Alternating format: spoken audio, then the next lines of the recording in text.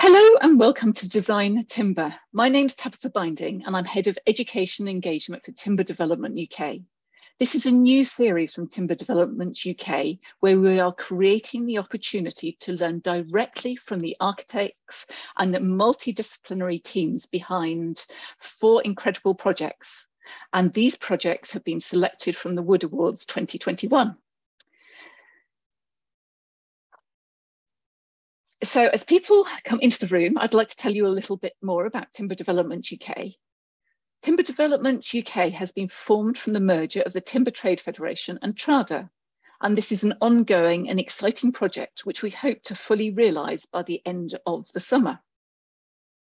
By bringing these two associations together as one, we are creating the largest, most comprehensive supply chain body in the UK, spanning from sawmill to specifier to finished project and all points in between. Our mission is for timber to be accepted as the first choice for any suitable construction project in the UK and as the best route to decarbonise the built environment. To do this, we will act as an agent of change towards more sustainable, low carbon forms of construction. At the centre of our mission are three main interlinking goals. We're setting out to connect the supply chain through this merger, lead best practice by building the largest, most comprehensive online library of technical specification and design guidance, and accelerate a low future, a low carbon future, as we support the timber supply chain to lead as a net zero industry. Events like today are crucial to these goals and our mission. So today, in the third of the Design Timber series, we will hear from the team behind the wooden annex, which was highly commended in the small projects category at the 2021 Wood Awards. So in the first half of today's session, you'll hear from our speakers as they go into detail on the concept, on concept and process. We'll then move on to a panel discussion and the Q&A. So if you have any questions, please put them in the Q&A. We think that the, the chat function has been disabled, but you're never sure with these online things. Um, without further ado, I'd like to welcome our speakers. So our architect is Taro Tsuruta from Tsuruta Architects, Kirsten Weiser, sorry, Karsten Weiser from Structure Labs, and Patrick Naptic from JK London Construction. And with that, would you unmute Taro? I'd stop sharing yep. and it's over to you. Okay, uh, so yeah, uh, yep, is okay?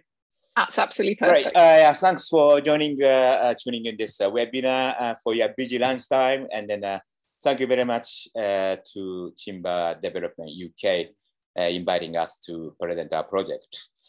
Uh, our project, I'm going to talk about this wooden extension, uh, but also I'm gonna my talk gonna be more also to do with the uh, how we deliver. We have a slightly unconventional way to deliver uh, our project. Uh, so my talk would be very technical and also more execution uh, at the site oriented. So this is a site, end of the terrace site, which is dotted around in red is actually uh, quite a large in comparison to other uh, uh, rest of terrace house. Client purchased this land in the view of uh, extending uh, uh, their house right from the beginning. south facing, and then there are a few mature trees, particularly two large oak trees. these developments are done by Dulwich Estate and then architect called Austin Vernon he was Dulwich uh, estate architect as well as surveyor. So in a post-war uh, style, sort of housing style. And there are many of them uh, by uh, Austin uh, project uh, in Dulwich estate. Uh, so this is existing house and uh, my clients. Uh, as you can see, there are many sort of uh, material. We have a white render, brick, and then uh, clay tile, uh, concrete, concrete tile, roof tile, timber, cladding, uh, you know, etc. So quite difficult to match. Uh, so right from the beginning, what the right thing to match to this house or uh, something else. So, so we had a kind of my you know, in our mind that maybe this is could be more sort of garden orientated rather than sort of trying to match to the existing house. So, however, originally we actually designed uh, brick and block sort of a conventional extension. And we uh, applied to uh, planning uh, permission and SADC gave us a, permission. However, this is in the Dulwich estate and Dulwich estate also has its own planning system that we had to apply. And when we applied to Dulwich estate planning application, uh, nine, eight of nine neighbor along this long boundary wall, uh, they objected to our proposal. So Dulwich estate came back saying that uh, you have to mitigate the neighbor's concern. So, you know, their concern was that uh, uh, natural habitat along the boundary, which is basically kind of overgrown bushes, a bit of mosquitoes. And then uh, uh, oak tree, uh, which is uh, in actually my client's garden. Uh, but anyway, they are enjoying these natural habitats. So what we done was that we made a, a slightly smaller footprint of extension. And then we made sure original from the beginning, we never included into the root protection zone. But uh, uh, we you know, uh, propose or agree to propose that uh, we're gonna use the screw piles. And then uh, uh, also we made a chimba extension rather than brick extension. And then client, neighbors are happy and then they retracted their objection. So we, how we design is the client has a uh, uh, the main thing was that they wanted to have dining and living in front of the kitchen. So therefore, when they are cooking, they can uh, speak to people in a both dining kitchen. So it was a bit difficult to do it with this given uh, site profile, uh, rather narrow uh, than wide. So what we did was sort of this L shape arrangement that are kitchen corner and a living room and then a dining room uh, pushed further uh, from building line into the garden. So this dining room becomes sort of a primary important space, like as if eating inside with the garden. This was sort of a, starting point. And so we didn't want to have sort of a, a any particular direction in this dining room. Uh, so the primary sort of, you know, elevation or primary orientation. It's kind of like a space, like a dot. Uh, so this is a, a 4.5 tatami module, uh, sort of a, a, like four sheet and a half module in, in the middle. So this sort of a, a module, 4.5 tatami module is often used uh, for Japanese tea ceremony room in, in, in Japanese garden. So kind of we took it from there, sort of, uh, and use this sort of non kind of direction and sort of a, a layout or format uh, as a basis. And then uh, this gave us a sort of window, door, window, door arrangement. And then we made elevation, window, door, window, door. So we didn't put any sort of a, a hierarchy in uh, which side is most important to the other. So all spaces are, are important for the dining room. And then uh, uh from there, sort of we developed uh, structural grid uh, for the ceiling, uh, and then that's extended and then uh, uh, sort of surface meet the other surfaces to create uh, building volumes. This is bit of inspired by Miesian sort of a way of uh, forming a, a building volume. And this is a, a final plan. Uh, we kind of put uh, dining in the garden and then a large uh, kitchen island uh, in a sort of 90 degree. So uh, wood, uh, so the material I'm going to talk about is uh, we use primarily use uh, wood called Accoya and also with a lot of plywood. Uh, so Accoya, uh, this is not our project, uh, project in Netherlands. Uh, it's called the Moses Bridge that are, some time of year, bridge goes in the water and then another time goes out of the water. So this is not great for wood if you would want to be maintained for longer duration, but it's a uh, surprisingly or incredibly, Accoya kind of managed to, to have this uh, project that after 11 years, uh, a company took this piece of wood and sent it love, and they didn't see any decay or uh, rot. uh, and dimension wise, it was apparently was very, very, very uh, strong. So that being 10 and water in this condition, it was like almost as if, you know, when it's installed, although surface are weathered, but it's uh, in terms of durability, it, didn't have any any uh, difference from the beginning. Uh, and we use the same material. Uh, this is the material uh, we use the expose Accoya for other projects, and we won I think, yeah, 2020 uh, with awards under small project category. So we kind of become familiar, uh, know, familiar with this uh, special wood. Other thing I would like to talk about is the digital fabrication uh, in construction, which has been sort of more rapidly developed. Uh, and this is again our project, uh, done it's project by ICD, uh, Institute of Computational design and construction in University of Stuttgart. Their projects are amazing. They do complex geometry and there's this, you know, material research. And then uh, sort of, you know, this candidate, uh, this PhD candidate actually, this excuse uh, incredible project and other people do this like ETH. You know, they are like a sort of uh, all done with state of art robotic arm within a lab environment. So compared to, and I call these guys like Premier League you know, uh, digital fabrication. And in comparison to uh, these guys, you know, we're kind of a Division Six, League Six of uh, uh, digital fabrication.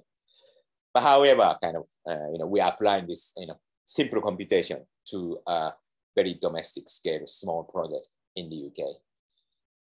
I mean, but it's Division Six is not that bad position, uh, considering that 36% uh, of uh, UK uh, construction output uh, are private housing sector, including repair and, and, and extension, those small ones and outnumber uh, to any other uh, one, which is you know infrastructure second biggest, but it's you know you know almost twice. Uh, so whatever we do, small changes in this large housing section uh, the construction industry could have uh, uh, could be as impactful as uh, as the you know premier league of uh, data publication. So uh, this is our robotic arm. it's Yarek is one of the most favorite site former among my client with three jobs and together with Patrick you know, he's uh, always with a difficult architect, between difficult architect and sometimes a difficult client. And he's a highly emotionally intelligent person that who can handle and make us happy. So we are working with human uh, with a, a, sort of uh, small uh, input of computation. And then uh, uh, this is not lab, this is our site. all the pieces there are the pieces that are, are converted from 3D file directly and then uh, uh, made it to DWG, and then we send a PC to uh, CNC uh, cutting service provider. And in uh, our case, these invoices are sent to our main contractor. Patrick talk about it, and Patrick press the order. So contractually, what we are assisting main contractor, and contractually, main contractor is basically liable for the pieces. So this is quite unusual, unique. Uh, Patrick will talk about the uh, advantages of this. Uh, so uh, uh, this is what we do and how we, we really work close together. And this is our file environment. We normally put everything in one file and all pieces are interlinked. So main model is in, in, in there. And then like, you know, the one on the flat, they are actually uh, sent to a, uh, in converted to DWG and sent to a CNC uh, cutting service provider. And then uh, uh, those ones that are uh, kind of exploded, they are sort of we use for, we call it assembly drawings. Assembly drawings are that it's almost like, you know, when you buy IKEA furniture, you can get in a piece of sheet that are, you know, this is the top, this is the bottom, you know, this is a, you know, you put Allen key here and there. Those kind of very, very, very simple uh, diagram, which is uh, sufficient uh, to the uh, joiner and then uh, actually carpenter nowadays understand how they put them together. We kind of like uh, start like that, and then or we get always feedback with us from site, and then we kind of you know find the best way to put them together while we're doing. Our building is quite basic. Uh, we have a ground beam and then we have a, a vertical uh, stud. In between, uh, we uh, made something called cassette. Uh, cassette is a sort of you know bespoke ship. it's a bracing as well as a, acting as a bracing and as well as a contain insulation and wrapped with a paper sheet. And a roof, we call it waffles, waffle roof, private waffle roof, uh, made of a series of uh, uh, private boxes stitched together. Uh, actually, uh, we found out that uh, we could make the same, you know, size of a, CLT slab. we use only one side of wood. So in terms of body weight, we can achieve much, much less noble material than conventional CLT slab. And this is a, a, a ring beam, uh, Accoya ground beam. Uh, Karsten going to talk about it in more detail. Uh, we did it uh, with uh, aluminum screw pile, which is uh, uh, probably only available in the UK. But I've seen Swiss practice using actually timber piling uh, for six-story uh, project. So it's possible we can even get rid of uh, aluminum uh, screw piling. So if you think about the whole Venice standing on timber piles, so uh, it's uh, why not for uh, uh, building in, in, general. So so over the uh, timber, sorry, yeah, timber ground beam, we place stud, and then those studs are cut with five-axis CNC uh, Uh, and then uh, in between, we slot the these uh, cassette, uh, which contain the uh, insulation. And the other cassette, we use a five stamp plywood, external. It's very you know economical and then robust. And then they are the ones that are, are sort of explaining how put these waffle slab together, uh, Karsten kind of design all the tiny bits and pieces. Uh, they're connected with a plywood plug. Uh, so when we send our uh, sort of uh, digital information, we always make it in a batch. And for this extension, we made three batches and, and bottom, middle, and top. Uh, otherwise there's too much too much too much uh, uh, ply pieces on site so it, logistically it's quite a good. And also uh, normally these uh, CNC cutting provider, they have a very short lead time, one to two weeks. Normally they can send the pieces on site. So we kind of press order, very, uh, of press order, uh, very late stage. So when we did this one, uh, at first batch, uh, our uh, medic came back to saying that Taro don't put any tolerances. Originally, we put a two minute tolerance between those boxes and then always end up eight minutes. And he had struggled to adjust this eight minutes. So please send zero tolerance. So we send uh, next batch with a zero tolerance all between the component, but that perfectly fit together for this case. So it's quite amazing. Normally we use the 18 milli plywood. Uh, some comes 18, some comes 17 and a half, other comes 18 and a half, which is uh, uh sort of, uh, you know, if we put those components together, actually those difference variation when it disappears.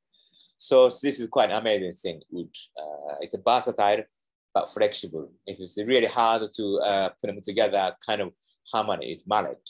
So uh, uh, I think this is one uh, reason that you know, ICD guys, you know, these uh, you know Premier League also use uh, plywood wood of the primary material. So easy to kind of like a kind of adjust on site.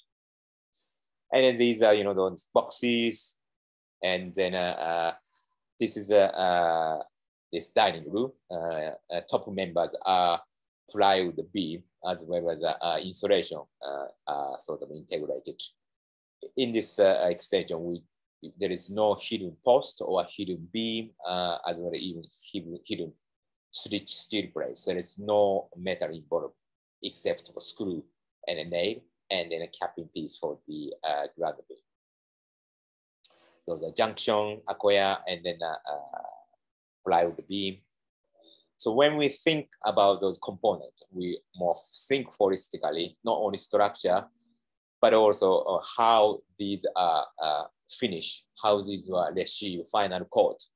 So uh, as you can see that the roof furring, uh, we integrated into structure. So actually roof furring, furring also acting as a part of structure, make roof much more stiffer.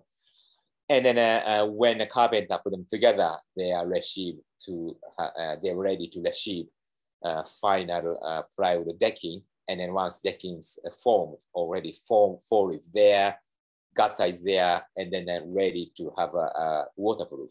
So carpenter finish, then waterproof, and the roof is down. And this is a external parts. We predominantly use Accoya. So stud, cladding, window, coping, also uh, ground beam, which is acting as foundation, all same material.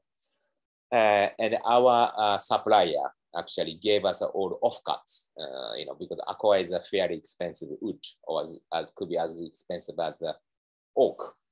So, but these offcuts are very, very useful because we couldn't think all, you know, tiny components in a, you know, gaps and everything. So we could use the same, because it's everything same material uh, externally, and then we can feel if, you know, kind of use those, you know, offcuts, uh, squeeze into these uh, uh, uh parts, between the parts. And again, uh, once uh, sort of carbon the finish uh, assembly, uh, this is ready for decorator to stain, that's it. So by doing so, the way we done, we could eliminate uh, many uh, trade. Uh, if we are doing this with a brick and block, we have uh, uh, you know, uh, sort of more people involved, so like a brickies or a steel fabricator. Wanna, so if you bring more trade on process, there is a possibility of things get delayed, progress get, get, get delayed. But our case, kind of we just kept, you know, we had a Patrick organizer, a carpenter, three carpenter. And then, uh, uh, you know, we just kept sending a, a plywood to site and just, just keep going on, you know, until they finish. So, uh, you know, this, we had a, you know, five, you know, trade involved, uh, finishing external envelope and the internal uh, joinery, uh, you know, down to finish. So this is also, uh, we could eliminate risk of uh, uh, delay. And then other kind of uh, things we find advantageous. Our, our part is that this is a render uh, design, uh, render image of staircase. We produced uh, two months in construction started. Uh, there was the original staircase standard, uh, but we weren't really sure the design and the client weren't really sure, but we didn't talk about it. But we came up with this design much later stage.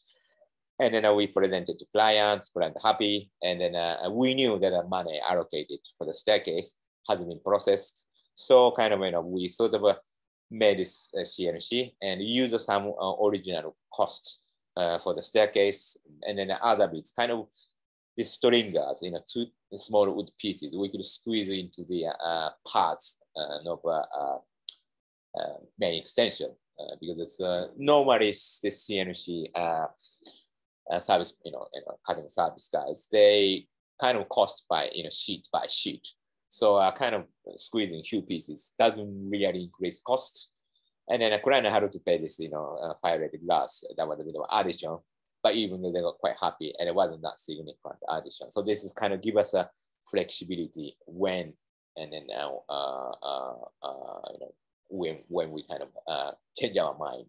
So it's give us a bit of a more autonomy during design stages. And then uh, again, you know, we didn't like, uh, we, we couldn't find the light fitting. So kind of we came up with design and we squeezed some features into this sheet of uh, uh plywood for the other parts. And then uh, we made uh, lighting. And this is one of those things that are, any architect, not any, but it's the architect tend to sort of feel satisfactory when everything aligned and we kind of aligned roof structure, you know, grid into those of joinery in a kitchen joinery. So this is also again, uh, we can kind of do sort of uh, uh, more spontaneously during this, you know, when we're developing the, you know, you know, component as well.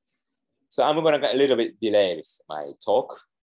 And this is a, a, photo I found on the internet that Mies Van der Rohe standing in front of Farnsworth house, a famous Farnsworth house. So uh, Mies Van der Rohe is the uh, architect of this famous house. But at the same time, he was actually contractor of this house. So he took job as a contractor as well. So uh, unfortunately, uh, this cost uh, spiraled up. I think it became three times. Client decided not to pay. And then uh, uh, he sued the client and he got the money back, but uh, their relationship wasn't great. But nonetheless, this is one of the most important piece of modern architecture history. So he had a kind of a, design autonomy and control down to nuts and bolts. So it's not unusual designer step into production fabrication. And then, uh, you know, I don't know, Richard Neutra, he's also kind of acting as a designer, contractor. So it's kind of like a, a unique part that uh, you can really see through uh, product uh, in a, different quality. So our uh, extension, come back to this one, uh, connected to the Grace corridor, and this view. And then this dining area, three sides, same elevation, and then uh, elevation from outside, and another elevation, and then uh, uh, this is a, a, view to the kitchen from uh, a living room. Uh, as you can see, you know, we squeeze in this uh, you know kitchen extractor within a structure, and then we use all the recess to the running a cable. So we can, and also this is a uh, four, I think four meter uh, opening we made out of a bespoke plywood uh, sort of a flitch beam, you know, Karsten design. So there is no steel involvement. And then this is the view to uh, living room, and then a view to dining, and a kitchen. And this is a staircase, uh, pretty much same to uh, uh the uh, render image, uh, because we, when we did the render, we kind of know what the parts we're gonna design in case. And then this is a study room, and a view to the study room from outside, you know, we made a kind of a corner window so we can get more greenery to the space. And this is other view, client cat.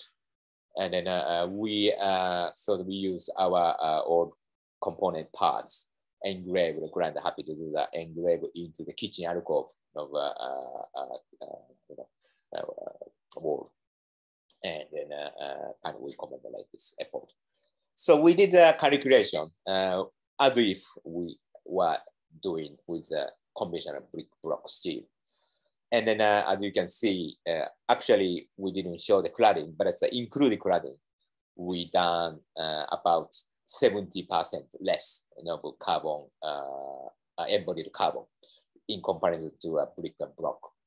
most of the things actually taken by uh, the concrete footing.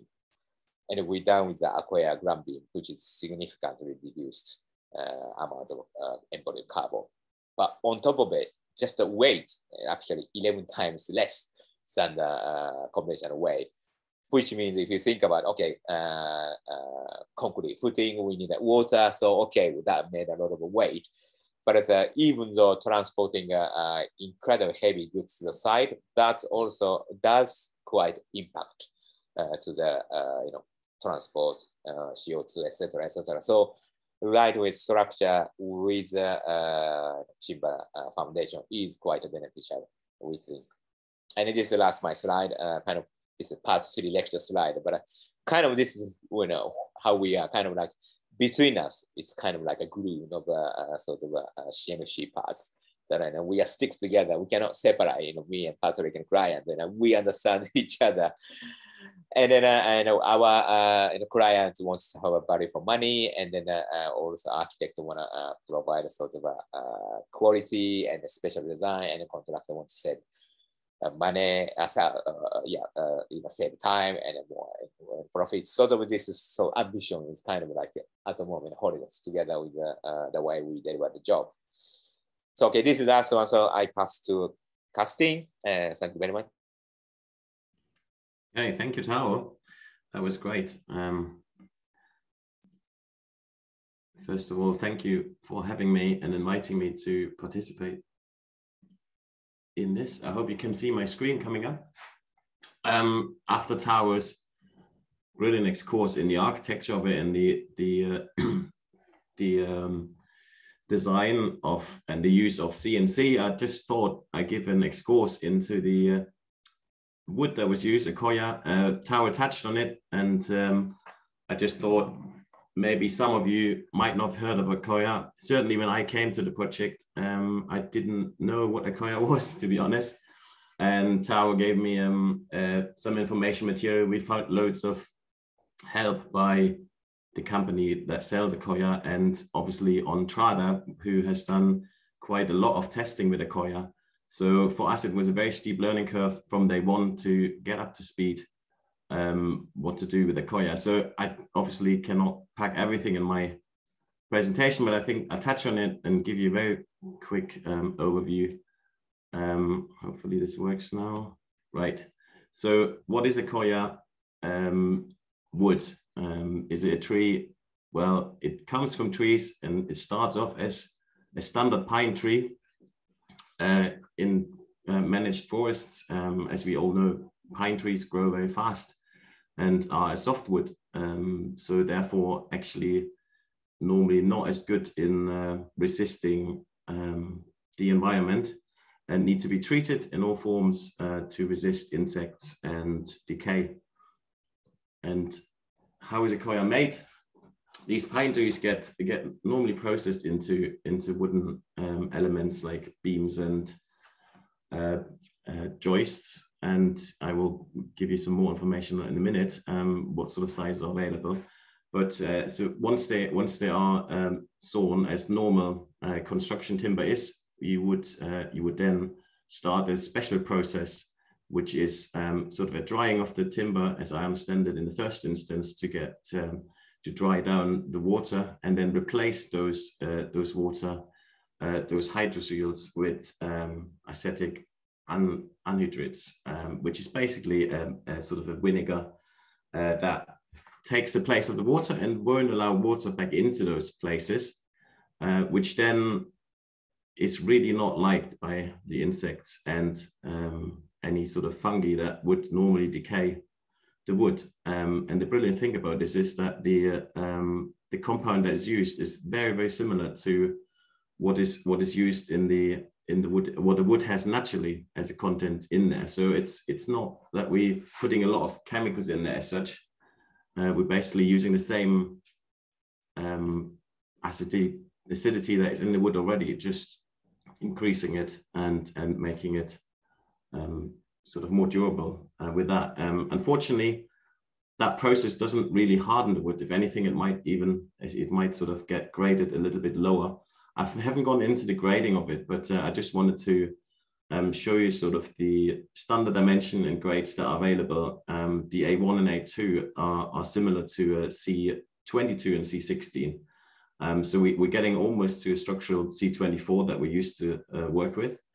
And that's sort of the grade that we used on, on the project. And we're getting quite a range of sizes from 100 to 200 mil in depth and from 25 to 100 million widths, which is sort of what we normally get um, for our construction timber. And the length are very similar to the construction timber as well, because it comes from the pine wood and is sort of the first sort of step of its life is very similar to the normal construction softwood timber. So it comes in 2.4, 3 meters, 3.6, 4.2 and uh, 4.8 meters. So it's, it's, it's really quite therefore versatile and can be used in the same way that normal construction timber is with the added uh, obviously benefit of uh, not needing to be treated as much and uh, has with having a lot um, better life expectancy. The bit to look out for here is because of the acidity of um, Accoya, it's almost treated like um, some of our acidic hardwoods that will need definitely um, stainless steel fastener and there's guidance and what, what grades to use. And, and that's one thing to look out for and to make sure that these fasteners don't uh, corrode within the wood. That's the, the key learning really that we got from, um, from this project. Um, other than that, um, the challenges for us obviously were when we started to look at this with uh, with Taro, he said, "Oh, I want to do this all in timber," but we all from the start we compared it with um, with the uh, traditional build. Um, that's where Taro got his uh, his number for the carbon footprint. Um, as Taro mentioned in the beginning, we have the oak trees nearby, and we have London clay on site. And if, if structure engineers are listening in, you know that that's a very terrible combination in London.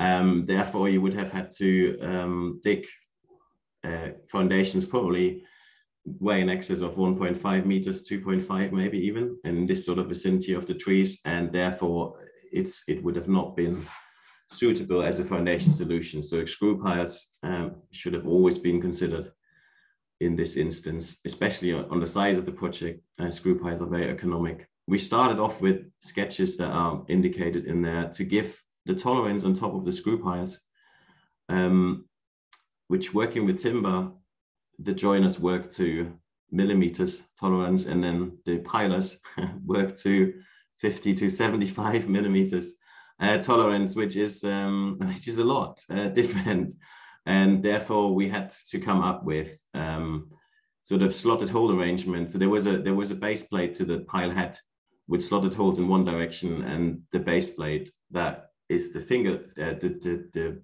fixing plate for the timber that had slotted holes in the other direction. So we, we ended up having 50 mil movement within our arrangement, but you all know that's probably only giving us sort of 25 to 30 mil tolerance. But I have to say the, the pilers were very good. Um, and, and, you know, as you see, we managed to that sort of tolerance.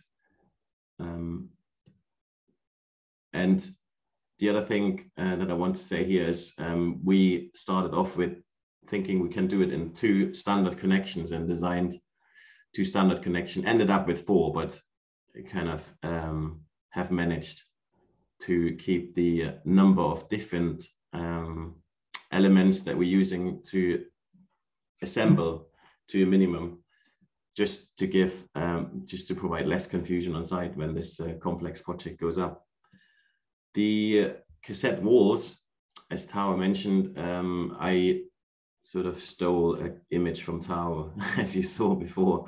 Um, in principle, the the the posts and the studs from Accoya go up. Uh, showed a picture with the with the site team assembling those um, those Accoya studs initially, and then uh, the full cassettes um, sort of go in. Uh, although the the sort of one side of the cassette is is kept off, and uh, then they get tied together and then the um, the internal side gets um, gets finished um, on site. That's sort of how we um, worked out the walls. And the very interesting bit and uh, what Taro said there was no flitch beam there was no steel. Um, we have basically created composite timber beams with plywood uh, big learning curve as well. Um, the deflection values and everything that we uh, calculated were actually still obviously higher than what we achieved on site. So when when we go through, we were a bit conservative on this. Uh, the way we we um, accommodated this, as Taro mentioned, uh, we have actually one primary element uh, you kind of see spanning side to side, which was the the fin of the uh, waffle slab, the, the the the the sort of center fin of the waffle slab uh, in there. We started off gluing the the um, firrings on top, and then in um, working together with Taro, we said actually this is not this is not going to uh, be a very robust way of doing it. So we ended up having the center fin um, sort of um, extending, and the way it was it was produced is that the the the waffles or the, the the the elements of the ceiling were were introduced as sort of these red part, and then again strengthened with blue and glued and screwed on site so that we had a, a, a very uh, thick section, pretty much thicker than your your normal 50 by uh, 200 or 250. We even went, I think we had 200 up to the roof and then yeah, 100. So it was 300 by, oh, sorry, 300 by um, almost 60 wide section, which structurally for a sort of fairly small extension like this was very sufficient. Um, that's sort of the end of my explores into the structural um, bits. I hope there's a few structure engineers here having some questions. I didn't want to go into too much detail, uh, just in case the architects fall off the chairs. uh, but yeah, feel free to ask questions in the Q&A section. Thanks, Karsten. No, the details are always great. And can I, yeah, ask three of you to um, turn on your, unmute yourselves and um, Patrick, I'd like to yeah um, welcome you as a, a, contractor to your very first webinar. I understand.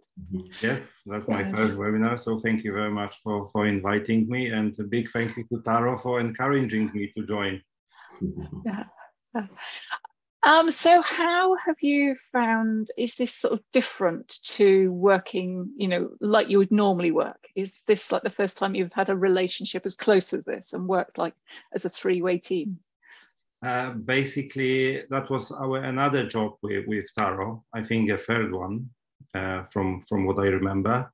So we learned a little bit uh, how to um, organize a site, how to do this kind of development uh, using uh, not standard procedures to, to, to, to, to do it.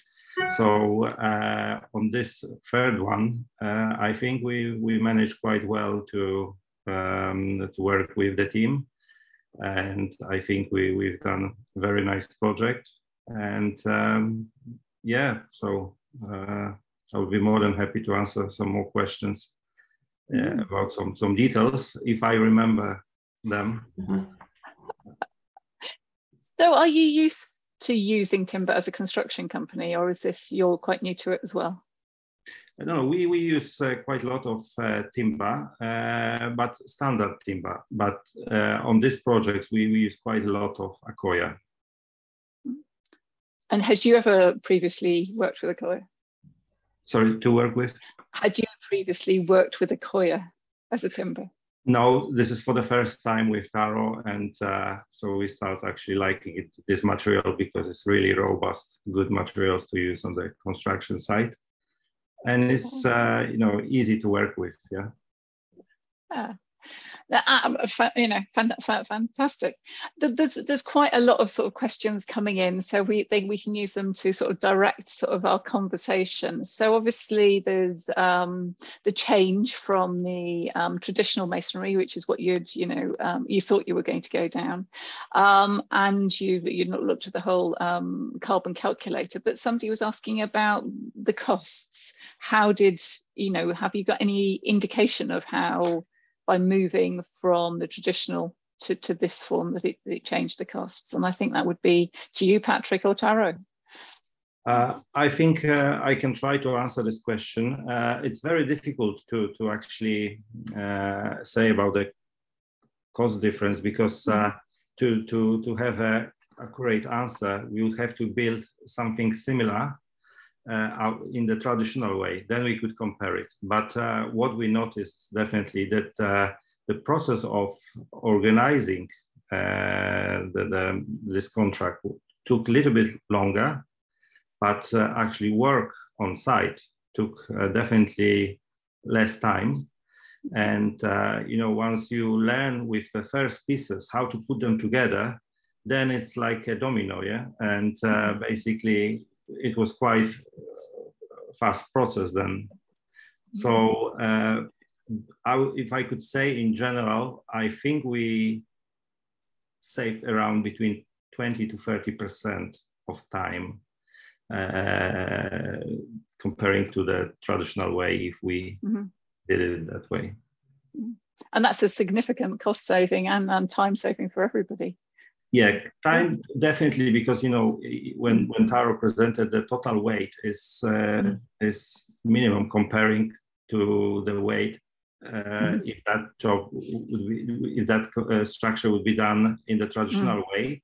So definitely was a lot of savings on on transport, on uh, bringing materials in and uh, take out. So again, uh, just kind of guessing, I would say uh, the, the, the cost of the, um, if that uh, structure done in the traditional way, I would say it would be around 40% more expensive than, than we mm -hmm. did it this way. Mm-hmm. Um, thank you. Um, a quick question was like, how, um, so how long were you on site?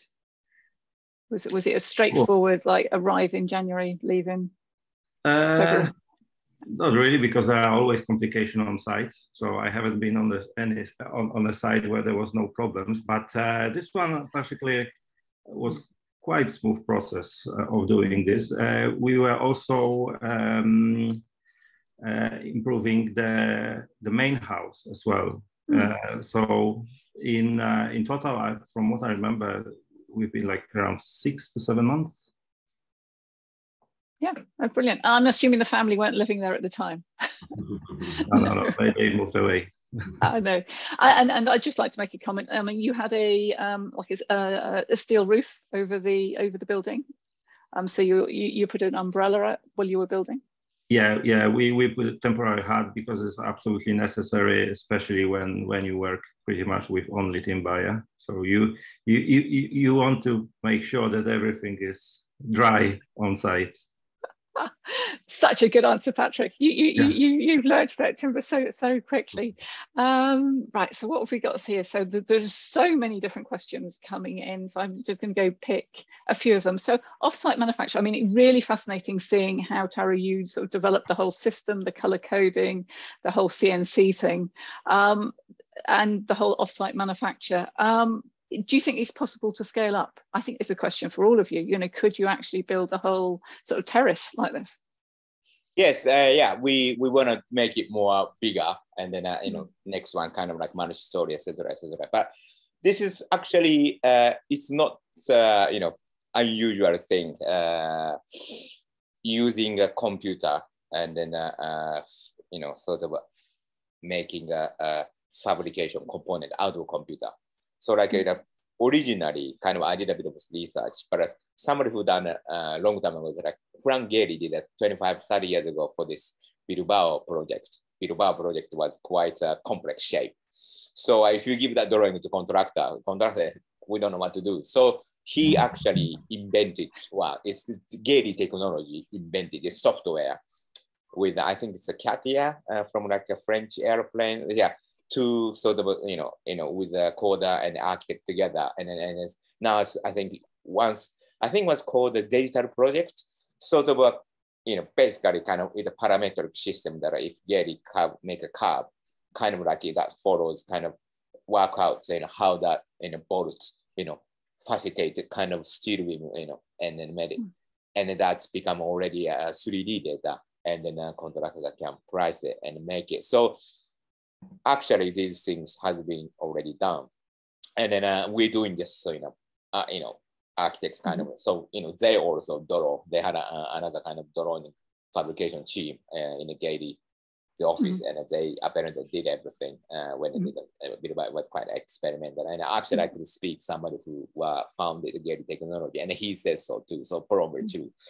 And then they also had a kind of quite complex sort of, but a new sort of friendly contract arrangement that are what's going to happen, the liability, etc., etc., delay. So there has been. Uh, so it's it's possible, but you know, just uh, with small practice. So and also wood has been really uh, playing great role because if mm-hmm. steel and glass, one's gonna, you know, it's very difficult to fix. But wood, you just cut, chop, fill, anything. So that's suited to small practice or, or mm-hmm. a small contractor we work in. Uh, so, uh, you know, any cock up, you know, we can kind of fix it. Yeah, yeah, yeah. I like that any mistakes can easily be fixed, you know, as long as you've got a piece of sandpaper, a saw or a drill. Yeah, yeah, or, a, yeah, yeah, yeah, or a CNC firm just around the corner. Um, somebody's asking about the uh, insulation. So what was the in insulation? And did you also like um, any, put any membranes in there? So airtight? Yeah, we have, we have to put uh, uh, paper, paper seat and then uh, uh, mm. sort of rigid insulation. And actually uh, uh, we have a kind of gap between the uh, joinery and then this mm-hmm. cassette that we, we put another one. So internally also we, we put the insulation uh, as well. So mm-hmm. uh, it's, but actually it's a sort of hard ones. Yeah, so it's, uh, yeah, rigid okay. Board. Yeah. Yeah. And it's that so that's around the outside of the cassettes or actually in yeah. the cassettes as well? Inside the cassette and then also mm. uh you know outside and then the side, yeah. Also cassette is made of a uh, uh, room side of facing with the 50 milli, so two layer plywood, which is already 50 milli solid. Mm. It's quite uh, uh, robust and yeah. uh, uh. It's uh, uh, quite you know reasonable. Yeah. Yeah. Um, a quick one on the CNC machining, and they say you've got very square internal corners. Um. You know, no radii. So was it just a very, very small bit, or, or, or no? No, we already make a joint, a so-called fillet. So uh-huh. we make a, a, kind of a round the corner, and then uh, uh, this mm. Guy make another hole. So mm. it's called the fillet. So if you look close, you can see this fillet. You know, uh, yeah. joint. Yeah. yeah. So, so, what we do is really basic. You know, joint or the box box mm-hmm. joint. Mm. So it's the main thing is we get you know conventional carpenter mm. who use Makita too, uh, and then they can do glue and screw. Uh, you know anybody can pick it up. So yeah. that's the main thing. We kind of like uh, yeah. straight into our technology, yeah. well, technology, mm. our uh, sort of system into mm. uh, UK domestic mm. building side. Mm. So I think somebody thinks there's um, ah, a plywood on the outside, but I think it's Accoya, Accoya cladding. Yeah, Accoya, yeah, yeah, yeah. And is it it's a it's a very dark stain or is it is it a different yes, kind of yeah. We, we, we I think Teknos company called Teknos. We do we use a kind of recommended uh, uh, mm. stain which is dark. So next time we're gonna a little bit experiment. It was a bit of a mm-hmm. and we use another material for the other job, which worked mm-hmm. for my point of view aesthetically yeah. worked a bit better. So uh, yeah. sorry for the Teknos, but no. and also we are not uh, paid by Accoya. We're talking about a lot of things about Accoya, mm. but we got nothing yeah. to do with Accoya. yeah, so there's all the different plywoods in there and all those other other timbers in there. But yeah, that was the, the the new the, the new type of timber that was you know yeah because to, it's, uh, to, you know, you quite unique. You know, we use a foundation and we use a roof coping mm. and a window. Yeah, and we can use, we can make a door yeah. the whole yeah. thing in one one yeah. yeah one material, which is quite amazing. Yeah. So I don't know. This is a question for you, Karsten, and obviously Patrick as well. It's so for the four meter open into the existing property. Um, is that steel beam? Is that so the the opening in the masonry wall is a steel beam, but the opening in the in the wood extension isn't. That's a composite plywood, but it's it's taller there because we have an upstand for the roof lights. So uh, it, it does actually work really well. So it was all sort of um, hidden and um, mm-hmm. not hidden. It's, it's actually the, the, the, working with the wood is actually quite honest because you, you, you do show everything. Mm-hmm. Um, but we didn't need any steel in, in the wooden annex. Mm-hmm. And people are commenting on how clean and you know, obviously how tidy it looks. So Patrick, that's obviously down to your site management or, your site manager. But it, so is there any coatings on the inside of the um, the plywood and the things. And uh, how did you keep everything so clean and tidy? I think we we have very good team and uh, our site manager marek uh, he did a great job uh, uh to achieve this kind of details. You have to keep uh, the site clean on daily basis because you you work with quite precise dimensions and so good aesthetic on site is achieved uh, uh, the way that we we clean the site on daily basis, and um, we try to keep all materials segregated so they not messed up with with other stuff. Uh, no, I, I, I, like it. It's nothing like a clean and tidy site. Um, so I don't know who picked one. So the ring beam, I think, is quite close to the floor. How do you, you know, is it going to get continuously wet? I mean, um, is it actually raised above ground level or what's the um... yes it's raised from ground level but then mm. if it's even inside water doesn't matter mm. that's that's the incredible thing about this uh, product and and as you can see that bridge it can be mm. water out of water mm. yeah so uh, that's that's that's the reason why and i think uh, uh i saw one uh, mm. Cork House, I think won the RIBA Award sometime. They used, uh, I saw oh, uh, this guy doing the same thing. So yeah, so I would think, yeah. you know, people start using more because you're just, uh, you know, uh, mm. electing or, or, preparing this foundation. If you mm. think about the trench mm. and then the fill and then, and then, uh, you know, filling with the, uh, the concrete just takes so long and then you have to wait the concrete to cure. But then uh, mm. screw pile, screw pile, put timber, uh, Accoya, mm. foundation down. That's incredible. So uh, there is a lot of advantages. It's uh, yeah. Accoya itself is expensive, but it's, if you think about, you know, if you can set up a foundation, you know, in mm. a couple of days. Mm. Well, it took some time to dig the uh, pile, but it's not that not that bad. Maybe we spent three four days, and then mm-hmm. Patrick could do, you know, or uh, you know, beam, uh, ground beam, like in probably another couple of days. I think it was something like that. It wasn't really like, you know, we are watching this in foundation, mm. you know, it wasn't like mm. that. Yeah. Mm. Um, a quick air tightness. Did, did you do any air tightness testing on it? You're on mute. Sorry, well, well, no, we we haven't done uh, air tightness uh, because it's quite a large opening to the mm. existing house, and then mm. uh, because existing house uh, external fabric we mm. didn't do very much. No. So uh, uh, yeah, we didn't uh, uh, try do that. Yes. My my headphones are playing up. Sorry. Um, what's the method? What's the form of heating in the building? Underfloor heating. Yeah. It's underfloor heating. Oh, in which case that would be really interesting to see like the, the, the floor build up. So you've got the Accoya ring beam and yeah. then what's the floor build up above that? Probably uh, we have a joists and then a, a timber decking and a quite mm. a, I don't know how many layers we did. Probably at least like two layers of 80 milli and then uh, uh, sort of lateral feet, you know, uh, sort of a panel that are, you can put uh, uh, hot water sort of tubes and that's mm-hmm. kind of coming at 50 milli. And then uh, mm-hmm. we put the engineered board. Mm-hmm. So yeah, mm. we, so we do quite often this, uh, uh, mm. and we did it for upstairs as well. So we use this uh, sort of retrofit style uh, underfloor heating with uh, plywood, you know, plywood decking in between this panel, and then uh, finish with the uh, engineered board. And is that a wet system or wet a? System, yes. It's a wet system. Yes. Yeah, no, that's it. So you, uh, the pipe is about 10 millimeter with wet system, and then a panel comes with 15 millimeter. Yeah. So uh, sorry, Karsten, there's not so many questions from from en mm-hmm. engineers.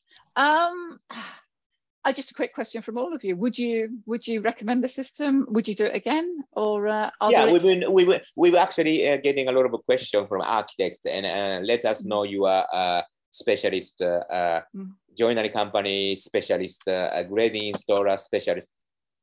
I cannot answer this question because mm-hmm. we don't have them. you know, kind of we are the one. And then uh, if you think, you know, oh, we have to get this number from this guy, then uh, maybe not so for you. But mm. if you think this, if you see this uh, video, or I, I gave uh, another talk, mm. uh, similar one, and I think, oh, that's how he do it. I can do that then maybe for you, uh, sort of a, we're not doing something, anything, you know, difficult. It might looks like it's taking a lot of time, but it's actually, we save a lot of time while we do it and uh, fairly stress-free during construction stage. You know, we don't have much, mm. you know, shouting much. We just kind of work together. And then, uh, uh thank, thank you, very, thank you, yeah. mm-hmm. thank you, Taro. I know we're we're running close to time. Yeah, Any final final words, Karsten? Um, yeah, for us it was interesting because it is very, very detailed compared to sort of the normal the normal annex, which we probably didn't didn't anticipate, but it was fun working on it. And Patrick.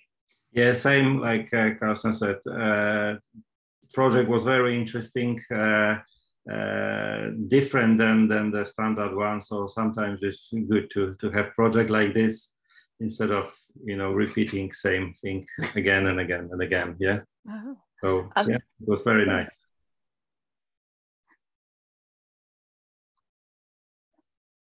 Ah, I'm I'm pressing the wrong button. No, that absolutely brilliant here. And so really thank you for giving up you know, an hour to come and talk to us. So Taro, Karsten and Patrick, people obviously know, know where to find you. This is being recorded and it will go up on our video um, channel, Timber Development UK channel tomorrow. Um, so yeah, no, thank you. Thank you so much for taking your time. And we look forward to more of your entries uh, in in the Wood Awards to see you know what what what what you've been up to. So although here the Wood Awards says it closes on the first of July, it's been extended and it is now closes on the fifteenth of July. So if you've got anything uh, you know at all, whether it's furniture or it's small buildings or retrofit or extensions or new builds, you know you've got time to get your entries in. Um, we'd like to invite you to come and join us on the 14th of September. So we've got a break during August when we come back to hear all about um, the Built East Pavilion, which I think is over the water. Um, so you can sign up free now via Eventbrite. And with that, I'd just like to say thank you all, gentlemen. and have a good afternoon.